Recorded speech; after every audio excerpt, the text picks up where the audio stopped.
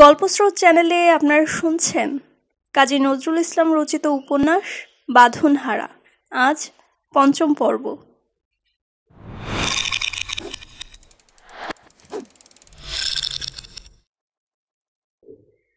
চিঠি এগারো। করাচি সেনানিবাস, শ্রীঘর, সতেরোই ফেব্রুয়ারি। বাদর মনু, শুয়োর, পাজি, ছুচো, উল্লু, গাধা, ড্যাম, ব্লাডি ফুল ঘেল্লিক বেলেল্লা, উজবুক, বেয়াদব, বেত্তমিজ। ওহ আর যে মনে পড়ছে না ছাই। নইলে এই চিঠিতে অন্য কিছুই না লিখে শুধু হাজারখানেক পৃষ্ঠা ধরে তোকে আষ্ঠে পৃষ্ঠে গাল দিয়ে তবে কখনো ক্ষান্ত হতাম। একটা অভিধানও পাবার জো নেই এই শালার জিন্দানখানায়। নইলে দিন কতক ধরে এমনই তোর চোখা চোখা গাল পছন্দ করে তোকে বিধাতাম যে যার জ্বলনের চুটে তুই বিছুটি আলকুসি লাগানো ছাগলের মতো ছুটে বেড়াতিস। আর তবে না আমার প্রাণের জ্বালা হাতের চুলকুনি কতকটা মৃত্যু। আচ্ছা তোদের ভাই বোন সবারই ধাত কি একই রকমের? তোদের ধর্মই কি মরার উপর খাড়ার ঘা দেওয়া? তোরা কি সুখ পাস এমন বেদিলের মতন বেদনা ঘায়ে ভোতা ছুরি রোগরে? বল ওরে হিংস্র জানোয়ারের দল বল, এতে তোদের কোন জিঘাংসাবৃত্তির চরিতার্থ হয়? কি বলব? ভাগ্যিস তুই আমার হাতের নাগালের মধ্যে নেই। নইলে কামড়ে তোর বুকের কাঁচা মাংস তুলে ছাড়তাম। হায়, আমার জান যে আজ কীরকম তোরপে তোরপে উঠছে তোমাদের এই মুরগি পোষা ভালোবাসার জুলুমে। তা ভাষায় ব্যক্ত করতে না পেরে শুধু এই চিঠির কাগজটাকে কামড়িয়ে নিজের হাতের গোস্ত নিজে চিবিয়ে আমার অতৃপ্ত রোষের ক্ষোভ মেটাচ্ছি। এখন আমার মনে হচ্ছে হনুমানের সাগর লঙ্ঘনের মতন মস্ত এক লাফে এই দুই হাজার মাইল ডিঙিয়ে তোর ঘাড়ের উপর হুড়মুড় করে ঝাঁপিয়ে পড়ে তোকে একদম কিচক বধ করে ফেলি। তোর ওই বাঁকুড়া কলেজটাকে গন্ধমাদন পর্বতের মতন চরচর করে উপড়ে ফেলে শটান গন্ধেশ্বরীর গর্ভে নিয়ে গিয়ে ফেলাই। তারপর ভাবি সাহেবার ঘরটা শুদ্ধ সারা সালারটাকে অযুত বিশ্ববিয়াসের অগ্নিস্রাবে একদম নাস্তানাবুদ করে ফেলি। ভারী সব পণ্ডিত মনস্তত্ত্ববিদ কিনা তাই এইসব ড্যাপুমি করে চিঠি লেখা। আমি নিজেই বার কি বলব? তোমাদের একটু পথ দেখাতেই তোরা খাইবার পাসের মধ্যের গোড়া সৈন্যের মতন সেই পথ দিয়ে অবিশ্রান্ত গোলাগুলি বর্ষণ করে আমাকে ঘায়েল করে ফেললি। যত দোষ এই আমি শালার তোর আগেকার চিঠিটা পেয়ে খুশি হয়ে যে উত্তর লিখেছিলাম, তা আলসিমি করে আর ডাকে দেইনি। তারপর তোর পরের বিচ্ছিরে চিঠিটা পেয়েই তক্ষুনি সেই চিঠিটা ছিঁড়ে কুটি কুটি করে ফেলেছি। মনে করেছিলাম তুই ভালো। আর তো সব শিয়ালের একই ডাক। পরের চিঠিটার পুরো উত্তর যে এখন দেবই না, তা বোধ হয় আর লিখে জানাবার দরকার নেই। যদি কোনোদিন আমি শান্ত হয়ে তোর অপরাধ ক্ষমা করতে পারি, তবেই উত্তর দেব। নইলে নয়। ভাবি সাহেবের চিঠিও তোরই মতো রাবিশ, যত সব মন গাড়া কথায় ভরা। হবে না? হাজার হোক। তিনি তো তোরই বোন। আর কাজেই তুইও যে তার সহদর। তা মর্দের মতোই প্রমাণ করলি। খোদা তোদের মঙ্গল করুন। তোদের খবর যদি ইচ্ছা করিস দিতে পারিস। চিঠিপত্র বন্ধ করলে বা খবর না পেলে যে খুব বেশি চিন্তিত হব, তা ভুলেও মনে করিস নে যেন। সেদিন আর নেই রে মনো, সেদিন আর নেই। এখন সারা দুনিয়া গোল্লায় গেলেও আমি দিব্যি শান্তভাবে পা ফাঁক করে দাঁড়িয়ে গোফে তা দিতে থাকব। জাহান নামে যাক তোর এই দুনিয়া। আমার তাতে কি? দুনিয়ার সঙ্গে আমার সম্বন্ধ কি যে আমি তার জন্য ঝুড়ে মরব? মনে রাখিস, দুনিয়া যদি হয় বুনো ওল, তবে আমি বাঘা তেঁতুল দুনিয়া যদি হয় সাপ, তবে আমি নেউল। দুনিয়া যদি হয় রাধা শ্যাম, তবে আমি শ্রীকাঁধে বাড়ি বলরাম। আর কত বলব? কতই বা যা তা বকব।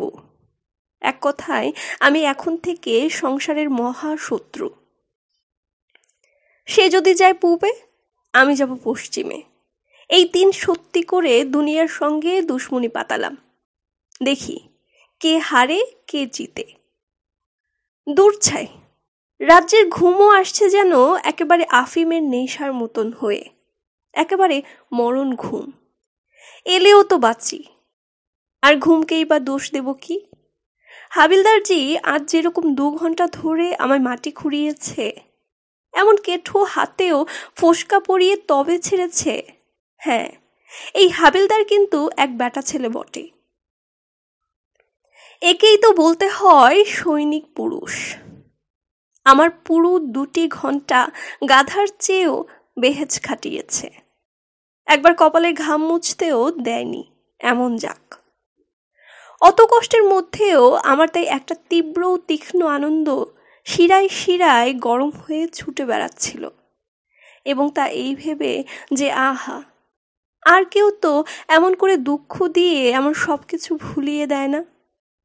এমনই কঠোরতা, না এর চেয়েও সাংঘাতিক পুরুষতা আমি সব সময় চাইছি, কিন্তু পাই খুব কম। তাই আমার শান্তির দরুন ওই দু ঘণ্টা খাটুনি হয়ে যাবার পর আমি হাবিলদার সাহেবের পাটাতন করা বুকে জোর দুটো থাপ্পড় কষিয়ে বাহবা দিয়েছিলাম। তীক্ষ্ণ উৎসাহের চোটে থাপ্পড় দুটো এতই রুক্ষ আর বেআন্দাজ ভারী হয়ে পড়েছিল যে তার চোখে সত্য সত্যই ভুজ যোগনী জ্বলে উঠেছিল। তার চোখের তারা আমরা রাটির মতন বেরিয়ে পড়লেও লজ্জার খাতিরে তিনি কিছুই হয়নি বলে কাপাস হাসি হাসতে চেষ্টা করেছিলেন। পরে কিন্তু তিনি সানন্দে স্বীকার করেছেন যে, আমি বাস্তবিকই তাকে একটু বেশি রকমই বেসামল করে ফেলেছিলাম। এবং তিনি এখন বিশ্বাস করেন যে, এরকম কারে পড়লে দিনেও তারা দেখা যেতে পারে। তবু এই হাবিলদারজিকে বাহাদুর পুরুষ বলতে হবে। কারণ অন্যান্য নায়ক হাবিলদারদের মতন সে অপরাধীকে না ঘাটিয়ে বসে থাকতে দিয়ে সৌজন্য প্রকাশ করে না। কর্তব্যে অবহেলা করে না। তাই আমাদের সৈনিক সংঘ এর নাম রেখেছে পাষণ্ড দুশ্মন সিং। এ বেচারা লেখাপড়া জানে কম, কিন্তু নাচো কুদু ভুলু মত, অর্থাৎ কাজের বেলায় ঠিক। একদম ঘড়ির কাটার মতো। তাই আমাদের শিক্ষিত হামবাগের দল এখনও সাধারণ সৈনিক। এবং ইনি শিগগিরই ভারপ্রাপ্ত সেনানি হতে যাচ্ছেন। পল্টনে এসে গাফিলেই তো এক মহা অন্যায়।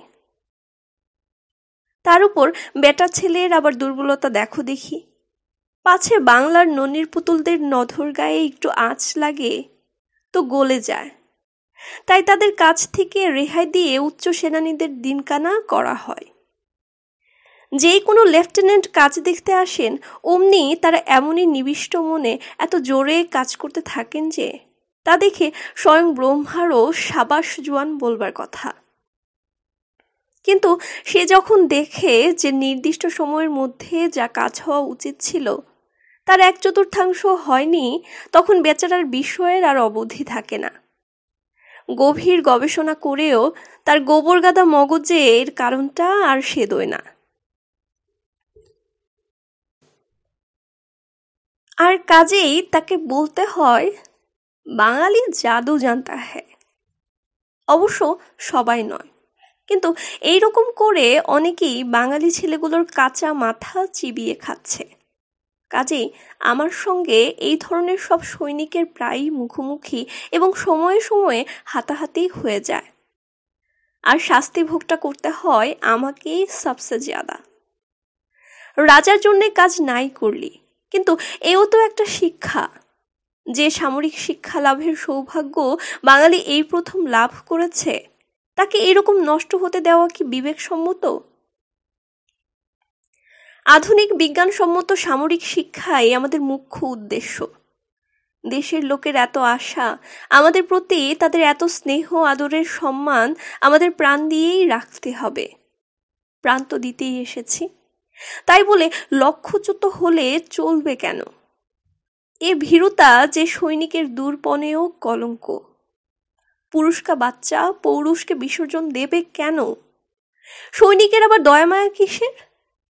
সিপাইয়ের দিল হবে শক্ত পাথর, বুক হবে পাহাড়ের মতন অটল আর বাহু হবে অশনির মতন কঠোর। গর্দানে একটা রদ্দা বসালেই যেন বুঝতে পারে হ্যাঁ পৃথিবীও ঘোরে। আর স্বর্গ, মর্ত, পাতাল বলেও তিনটে ভুবন আছে। মরদের যদি মর্দামি না রইল, তবে তো সে নেই মোরাদে। মানুষের এরকম মাদিয়ানা চাল দেখে মর্দমি আজকাল বাস্তবিকই লজ্জায় মুখ দেখাতে পারছে না। তারপর আমার জন্য বিশেষ কোনো চিন্তিত হবার দরকার নেই এখন। সম্প্রতি মাসখানেকের জন্যে, কারণ গত পরশু এক শুভ লগ্নে আমি আমার কোম্পানির সেনানি এক কাপ্তেন সাহেবকে একই ঘুষিতে চাঁদমামা দেখিয়ে এখন বন্দিখানায় বাস করছি।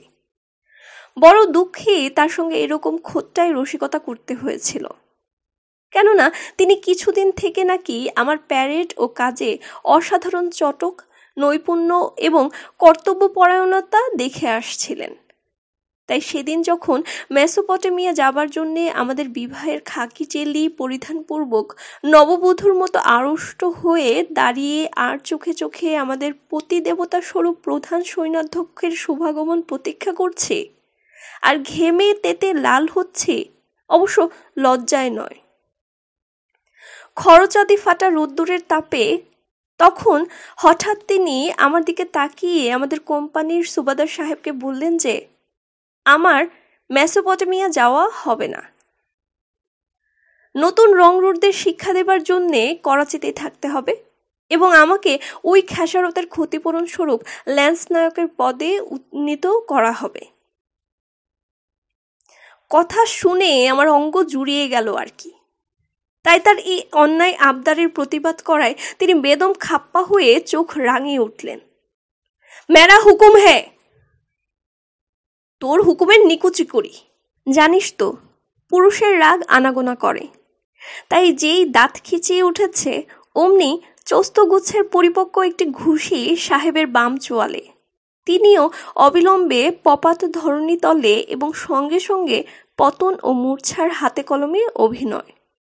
তারপর আমায় ঠেলে ঢুকানো হলো কোয়ার্টার গার্ডে বা সামরিক হাজতে।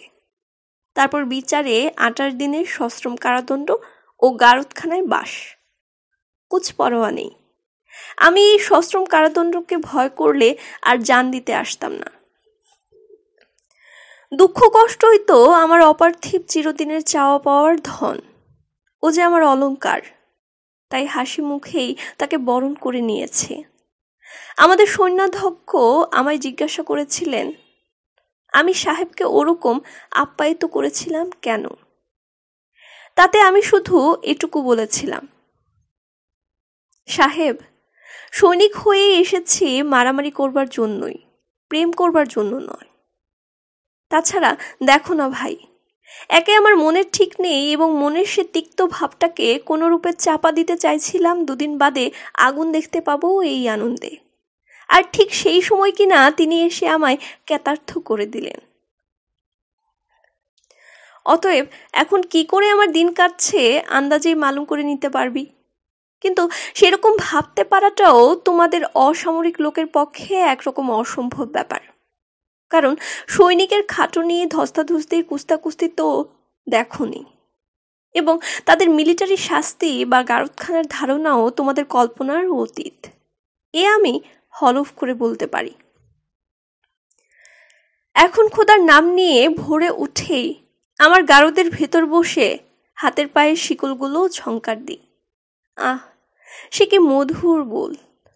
আমার কানে তা যে কোনো তিলোত্তমা তুল্য ষোড়শী কুমারীর বলই নুপুর রেশমি চুরির মধুর সিঞ্জনের চেয়েও মিষ্টি হয়ে বাজে। তারপর শ্রীমান গোপীচন্দ্রের সিংয়ের আওয়াজ কখন শুনি কখন শুনি করে যুগল কর্ণ উৎকর্ণ হয়ে ওঠে। রায় বিনোদিনীর মতোই অহম যুবন্দনী তখন হাসপাস করে ঘন শ্বাস ফেলতে থাকে। আর সঙ্গে সঙ্গে বুকের খাকি বসনও ভীতি সংকোচে আন্দোলিত হতে থাকে। এবং আয়ান ঘোষরূপ এই ল্যান্স নায়ক নারায়ণ ঘোষের গোয়াল বা গারদ ঘরে বসে শুনি, ওই বুঝি বাঁশি বাজে। অবশ্যই তা বন মাঝে নয়, সন্ত্রস্ত মন মাঝে। হায় সে কোন শেওড়া তলায় হেলমেট চূড়া শিরে রাইফেল বংশী হাতে আমার শাস্ত্রী কালাচাঁদ ত্রিভঙ্গ ঠামে দাঁড়িয়ে আছেন। আমার এই শ্যামকান্তের ত্রিভঙ্গ নাম সার্থক। কেননা বুটপুট্টি পড়ার পর তাকে ঠিক তিন জায়গায় ভঙ্গ বলে মনে হয়। প্রথম, পট্টি লেপটানো পায়ের উপর হাঁটুতে দয়ের মতো একটা ভঙ্গ। দ্বিতীয়, তার কোমর। কোমরবন্ধের বাঁধনের ঠেলায় এবং কতকটা স্বভাবতই ভঙ্গ। তৃতীয় তার স্বরভঙ্গ। আরও আছে, তার পৃষ্ঠদেশ অষ্টবক্র মুনির মতন বাঁকা বলে আমরা তার নাম দিয়েছি ফ্ল্যাগ ব্রোকেন অর্থাৎ কিনা ধ্বজভঙ্গ। কিন্তু ওই অষ্টাবক্রীয় ভঙ্গটাও হিসেবের মধ্যে ধরলে উনি চতুর্ভঙ্গ হয়ে যান বলে ওটা এখন ধরতার মধ্যে ধরিনে। হ্যাঁ তারপর আমায় কি করতে হয় শোন। শ্রীদাম রূপ ধরাধরি তার এক সখা এসে আমায় কালার গোষ্ঠে নিয়ে যান। আমিও মহিষ গমনে আনত নেত্রে তার অনুগমন করি। পথের মাঝে আমার লাজ বিজড়িত শৃঙ্খল পড়া চরণে পঞ্চমে বোলা বাণী বেজে ওঠে। ঋণিকে ঝিনিকে ঋণি ছিনি ঋণিকিনি কিন্নরে তারপর এই মুখর মঞ্জু মঞ্জু মঞ্জিরে পথের যুবক বৃন্দকে চকিত করে গোষ্ঠে গিয়ে ঘণ্টা দই গোষ্ঠ বিহার। অর্থাৎ শ্যামের হুকুম মতে সামনের একটা ছোট্ট তালতমালহীন পাহাড় বারকতক দৌড়ে প্রদক্ষিণ করে আসা। সেই দৌড়ানোর মাঝে ডবল মার্ক টাইম করা বা শিব ছাড়া যে সৈনিকেও তাণ্ডব নৃত্য করতে পারে তা দেখিয়ে দেওয়া। মধ্যে পরীক্ষাখাল ডিঙিয়ে মর্কট প্রীতি প্রদর্শন করা ইত্যাদি। এসব লীলারে লীলা, একেবারে রাসলীলা এই দুই ঘণ্টা অমানসিক কসরতের পরেও যখন পৈতৃক প্রাণটা হাতে করে ঘুরে ফিরি, তখন সত্যই মনে হয়, না, শরীরের নাম মহাশয় হওয়াটা কিছুই বিচিত্র নয়।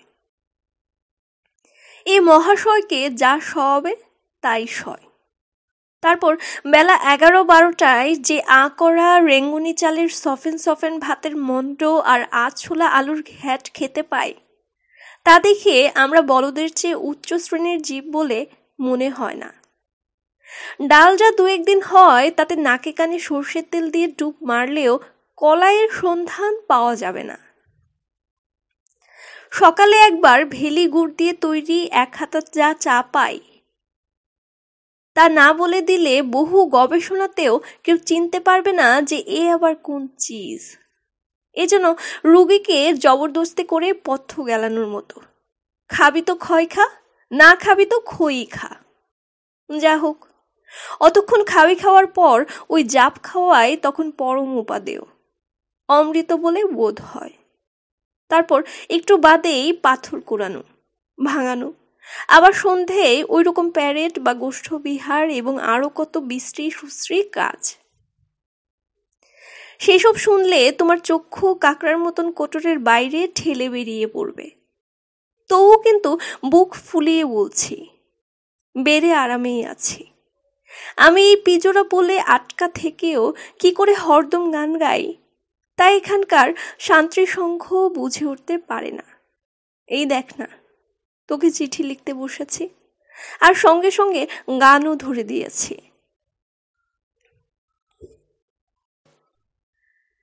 আরও আঘাত সইবে আমার, সইবে আমারও। আরও কঠিন সুরে জীবন তারে ঝঙ্কারও। এইরকমে আমার দিনগুলো এখন যাচ্ছে। হাদম গাড়ির মতন একঘেয়ে হচং হচং করে ধাক্কা খেয়ে খেয়ে। শুনছি কয়েদ হওয়ার দরুন আমায় নাকি যুদ্ধক্ষেত্রে যেতে দেওয়া হবে না। যদি তা হয়, তাহলে আরেক কাণ্ড করে বসে থাকব। তা এখন বলছি না। এ বেটারা তো বুঝবে না যে আমি কি জন্য পল্টনে এসেছি। তাই সকলেই আমাকে শুধু ভুল বুঝে। অধিকাংশ সৈনিক যখন পদোন্নতির জন্য লালায়িত, তখন আমাকে প্রমোশন দিতে গেলেও আমি নিই না দেখে ওরা আমাকে কাঠখোট্টা গোয়ার, হোর, প্রভৃতি দুষ্প্রাচ্য গালাগালি দেয়। কিন্তু আমি জানি দুঃখকে পাবার জন্যেই আমি এমন করে বাইরে বেরিয়েছি। আমি রাজা ও দেশের জন্যে আসিনি। অত বড় দেবতা বা স্বার্থ থেকে মহাত্মা হয়ে উঠতে পারিনি এখনও। আত্মজয়ী করতে পারলাম না আজও, তা আবার দেবতা। তাই আজও আমি রক্ত মাংসের গড়া গোয়ার গর্ধক মানুষই রয়ে গেলাম। পরে বরং দেবতা হবার অভিনয় ও কসরত করে দেখা যাবে। যদি এই দুঃখ, কষ্ট, বেদনার আরাম আর আনন্দকে এড়িয়ে চলতে না হয়। কেননা নছি দেবতাদের দুঃখ, কষ্ট, বেদনা, ব্যথা বলে কোনো জিনিস জানা নেই। যদি তাই হয়, তবে ও আনন্দবিহীন নির্বিকার দেবত্বকে দূর থেকেই হাজার হাজার সালাম।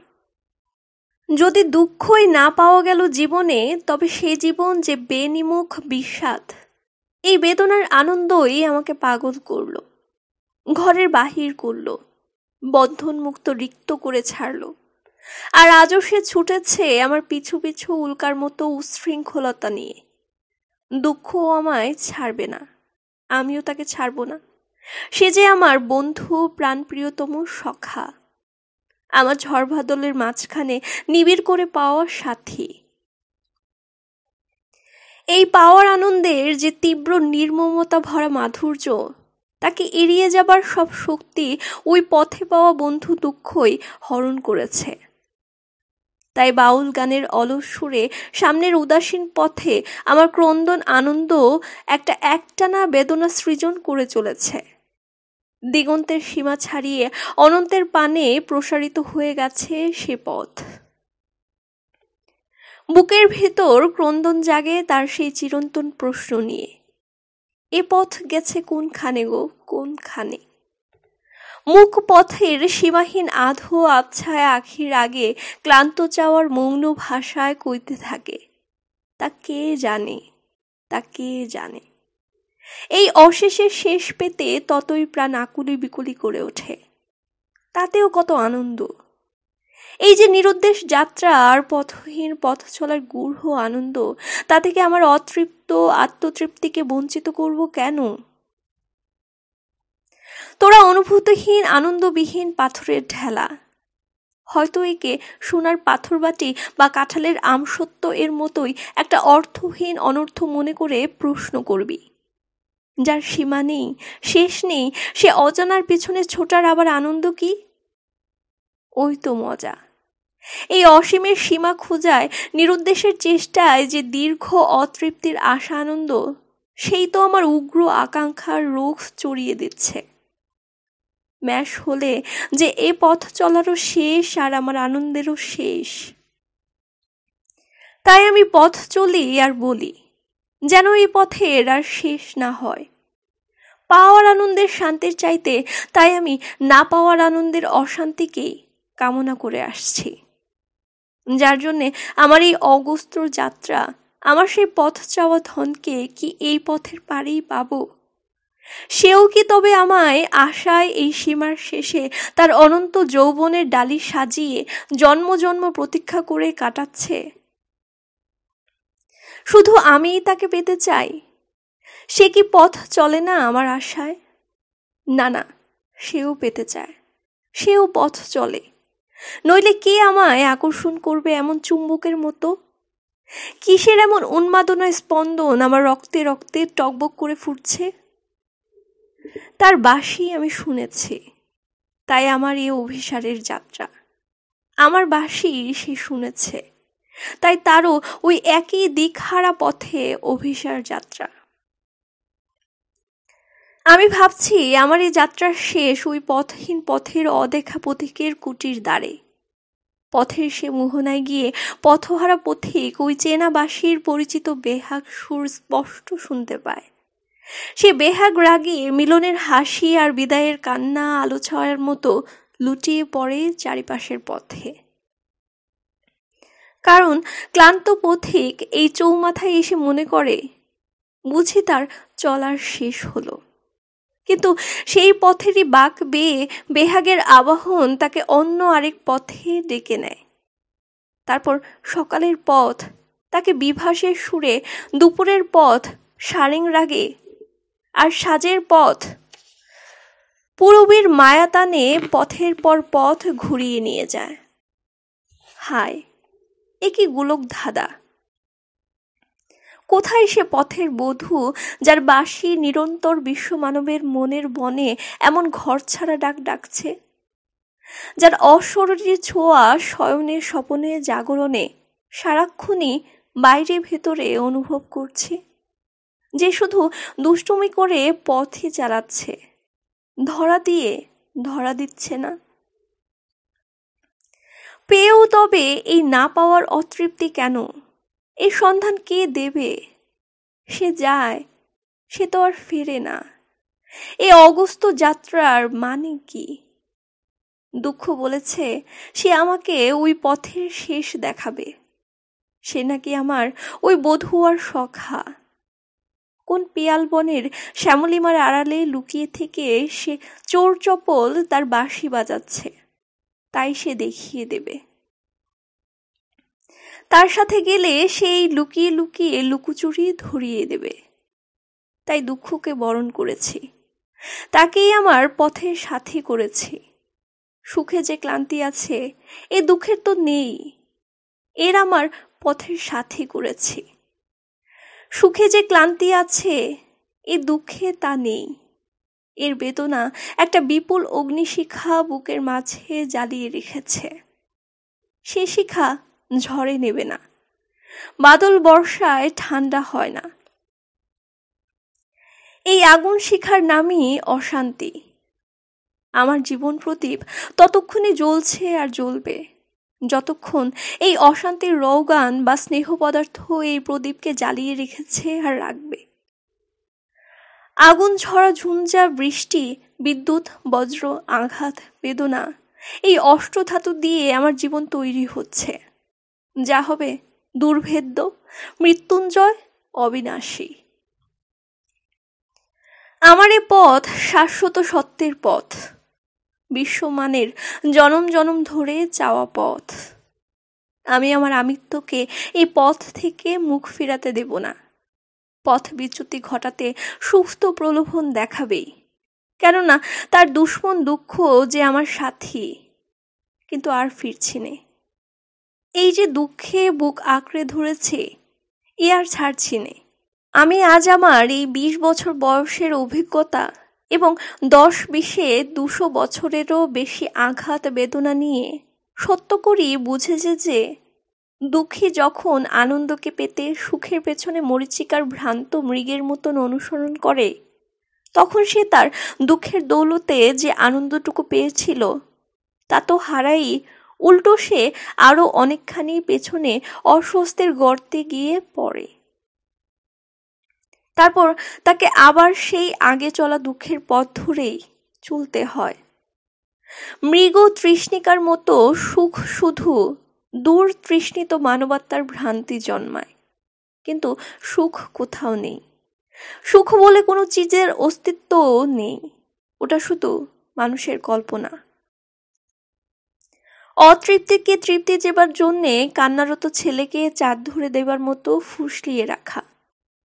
আত্মা একটু সজাগ হলেই এই প্রবঞ্চনা সহজেই ধরতে পারে। ওহ, মাথাটা বড্ড দপদপ করছে রে। গাটাও শিরশির করছে।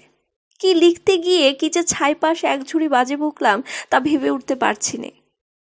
চিঠিটা আরেকবার যে পড়ে দেখতে পারব তারও কোনো আশা নেই।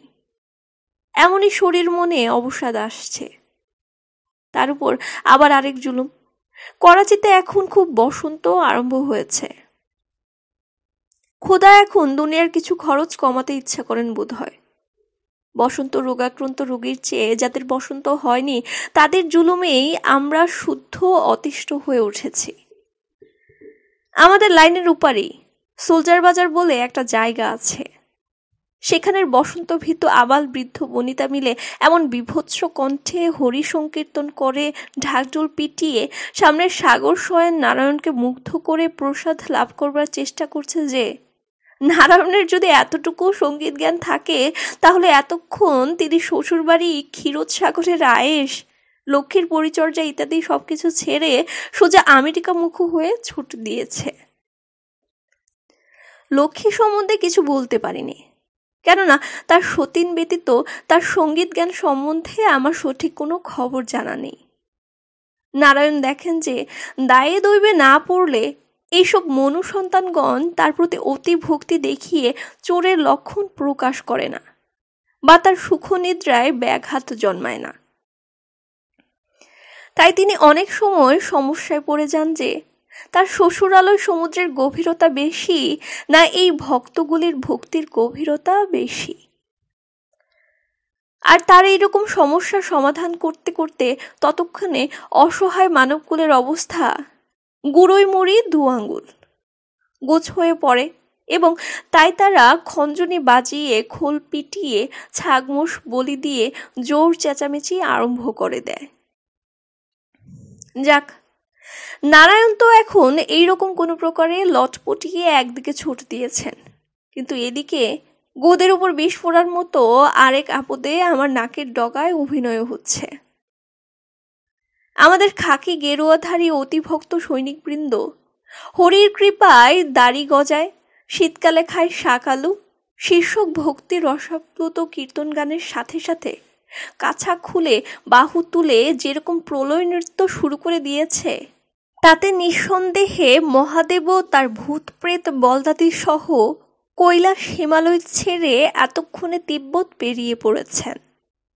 খোলের প্রচণ্ড চাটির মাঝে মাঝে গিজাংতাল ভটাভট গোছের একটা সমস্যক তীক্ষ্ণ ঋষভ চিৎকারের চোটে, ওই নীলরে বলে তার ভূতপ্রেত ডাকিনী বর্গ যেন অস্বাভাবিক ছোট ছুটছে।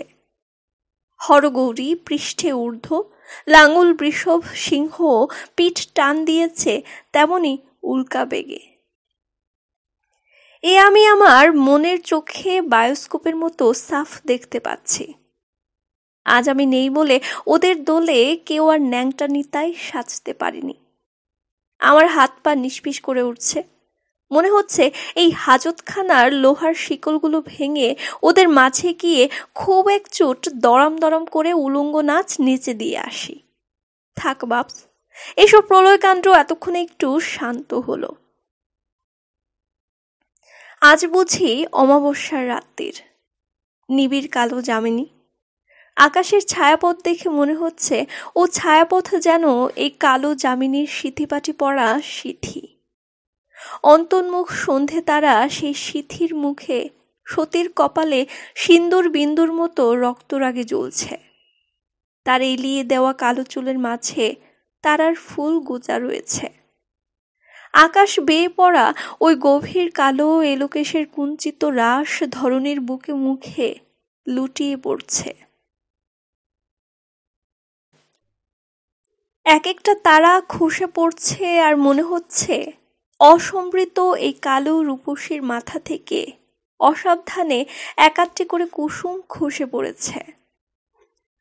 কোন কান্তের আশায় রজনী রোজ তার এই কালো রূপ নিয়ে অভিসারে বেরোয়? কেন সে অনন্তকাল ধরে এমন জামিনী জেগে আসছে? কোন আলু করা রূপের রাজকুমারের আশায় আশায় তার প্রতি রজনী এমন করে ভোরের পাণ্ডুর ক্লান্ত হাসিতে মিলিয়ে যায়? প্রভাতের ভৈরবী সুরসিক্ত শীতল বায়ু হাহা স্বরে যেন তারই না পাওয়ার নিরাশা ক্লান্তি আর পাবার আশার আনন্দ ব্যক্ত করে। যামিনীর যেমন এই প্রতীক্ষার অন্ত নেই, আমারও তেমনই এ পথ চলার আর শেষ নেই। আমার এত ইচ্ছা করেছে যে এই জামিনী অভিসারের আশা নিরাশা নিয়ে একটা সুন্দর কবিতা লিখতে। কিন্তু আরে তবা আমার কবিতা লেখা যা আসে, তা কতকটা এরকম। নেবুর ফুল আর গরম চা লাও এক কাপ গরম চা।